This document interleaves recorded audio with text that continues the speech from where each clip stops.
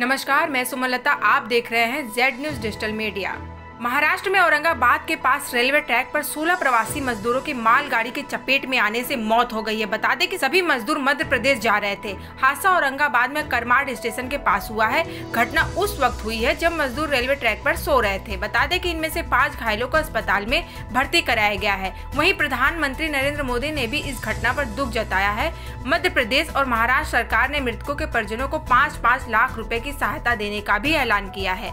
Rail मंत्रालय ने बताया है की घटना बदनापुर और करनाड स्टेशन के बीच की है। ये इलाका रेलवे के परभड़ी मनवाड़ सेक्शन में आता है। शुक्रवार तड़के मजदूर रेलवे ट्रैक पर सो रहे थे। तभी मालगाड़ी के ड्राइवर ने उन्हें देखा, लेकिन बचाने की कोशिश भी की, पर हादसा हो गया। मामले की जाँच के आदेश दे दिए गए हैं और इस मामले की जाँच हो रही है। पटरी पे सुबह सवा पाँच बजे बहुत ही अनफॉर्चुनेट तरीके से सोलह मजदूरों की डेथ हो गई है। सवा पाँच बजे यहाँ से जो कैरियर ट्रेन गुजर रही थी, उसके नीचे वो लोग अनफॉर्चुनेटली आ गए हैं। उनमें से एक इंजर्ड है, वो हॉस्पिटल में है।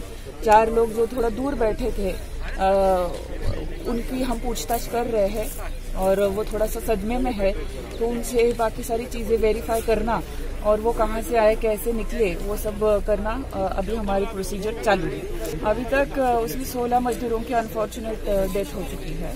एक आदमी इंजोर्ड ये लोग जालना से निकले थे, ऐसा जो आदमी अभी बचा है उन्होंने ऐसा बताया है। वी आर वेरीफाइंग दैट और वो बोले कि वो भुसावल जाना चाहते थे, जहाँ से वो ट्रेन पकड़ना चाह रहे थे। ये पैदल जा रहे थे और रेलवे पटरी पे वो थोड़ा रेस्ट करने के लिए लेटे थे। उनको नींद लग गई और ये हादसा हुआ।